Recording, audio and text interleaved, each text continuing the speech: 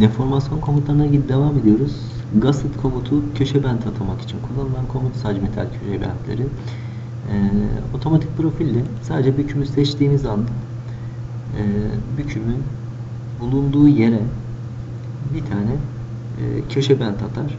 Bunun sayısını değiştirmek istiyorsak şuradan fit deyip 3 adet diyebiliriz veya fill deyip boşluk miktarına girebiliriz. Fix deyip hem boşluk hem adet miktarını oluşturabiliriz. Seçenekler menüsüne girerek burada oluşturmakta olduğumuz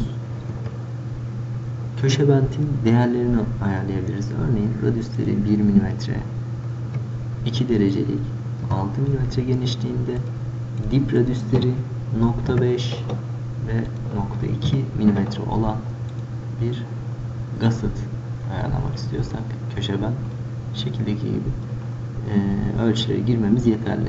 Seçenekler değil, radüslü şekilde e, atamak istiyorsak bu köşe benti yine round seçimini yapmamız yeterli. Onay verdiğimizde gusset komutunu onaylamış oluyoruz. Bir diğer komutumuz Edge komutu. Edge komutuyla yazı yazma işlemlerini yaparız. Bunun için önce bir sketchle herhangi bir düzleme, yazı yazmak istediğimiz düzleme sketch açıyoruz. Ve Tools menüsüne gelip Insert grubunun altındaki Text Profile butonuna tıklıyoruz. Önce fontumuzu seçiyoruz. Türkçe karakter kullanacaksak Türkçeyi seçiyoruz ve yazımızı yazıyoruz.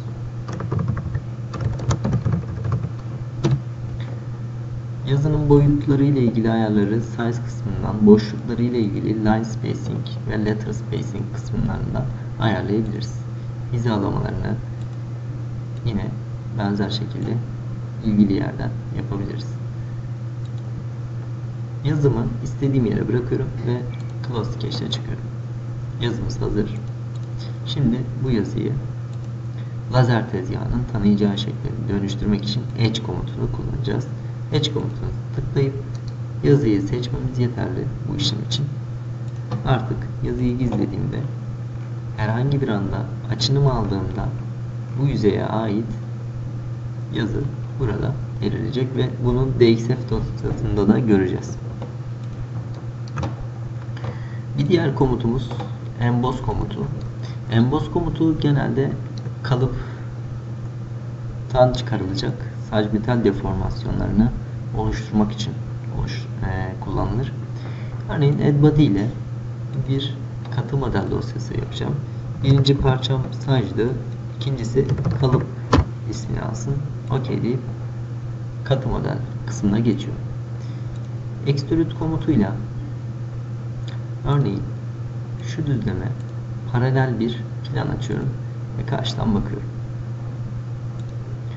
Şu düzleme şöyle bir dikdörtgen çiziyorum. Basit bir kalıp oluşturacağım. Ve bu dikdörtgenin boyunu istediğim kadar uzatıyorum. Örneğin 15 mm. Birazcık daha ekleyelim 18 mm. Daha sonra kat komutuyla şu plandan bakarak kör komutu yardımıyla şöyle formlu bir yüzey elde ediyorum ve close cache ile bu yukarıda kalan formu kapatıyorum, kesiyorum. Kestikten sonra saç kısmına activate body diyorum. Sacımızı aktif ediyorum. Emboss komutuna artık dimple komutunun altındaki emboss komutuna giriyorum. Önce sacı seçiyorum. Daha sonra kalıbını seçiyorum. Kalıbı seçtiğimde eğer yüzeyimiz buna izin veriyorsa buradaki boşluk miktarını ayarlayabiliriz tabii ki. Kalınlığa göre buradaki ee, radüsleri ayarlayalım. Çok büyük radüs değeri girilmiş. 10'da 5 10'da 2 milimetrelik radüslerle bu emboss işlemini gerçekleştiriyorum.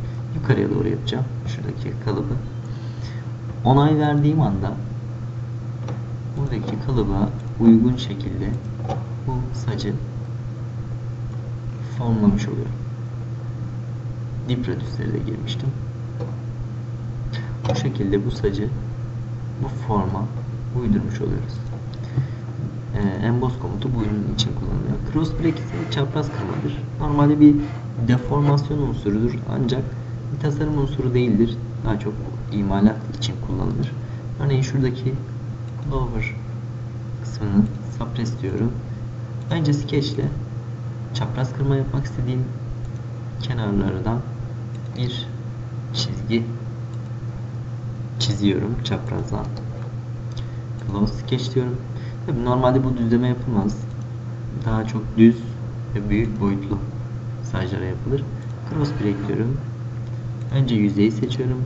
Onay verip daha sonra skeçlerimi oluşturuyorum.